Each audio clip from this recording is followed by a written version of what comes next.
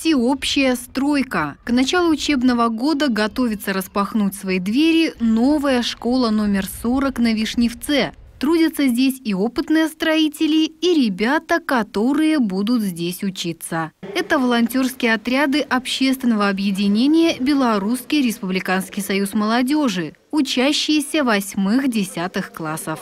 К работе они приступили с прошлой недели, и количество ребят, приходящих сюда каждый день, варьируется от 20 до 50 человек.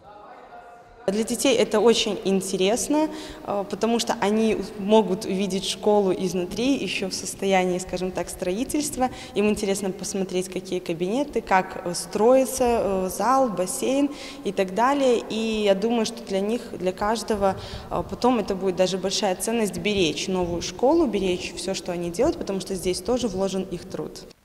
По словам второго секретаря БРСМ, ребята волонтерские отряды идут охотно даже понимая, что материального поощрения за это не получат. Работа у них несложная, и трудиться здесь будут до конца августа.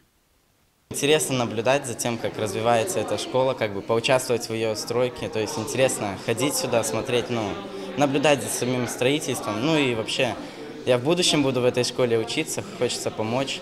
Ну и, буд, можно сказать, буду первым из выпускников этой школы. Ну, в основном мы выносим мусор, помогаем всякие мелкие работы делать, там, помыть окно, там, ну, вот такое вот э, безобидная работа. В целом же в таких студотрядах на добровольной основе этим летом трудились почти 2700 человек. Например, в городских колледжах были созданы волонтерские строительно-ремонтные бригады. Наши ребята задействованы были, если брать волонтерские отряды, и на чемпионате мира по пожарно-спасательному спорту не так давно проходил, и на чемпионате по легкой атлетике республиканском, и, в принципе, на всех крупных городских э, э республиканских э, мероприятиях наши ребята всегда задействованы, всегда где-то помогают.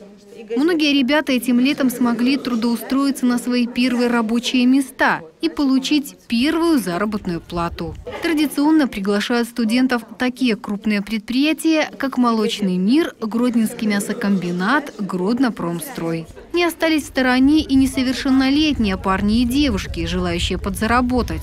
В этом году многие из них могли устроиться не только продавцами мороженого. Для них также открыли свои двери Белпочта и Белтелеком. Притом очевидно, что нынче проблема трудоустройства среди всех категорий граждан стоит довольно остро. Однако ребят, желающих подзаработать и внести свою лепту в общее дело, меньше не становится. Наталья Иванченко, Сергей Печерица. Новости Гродно+. плюс.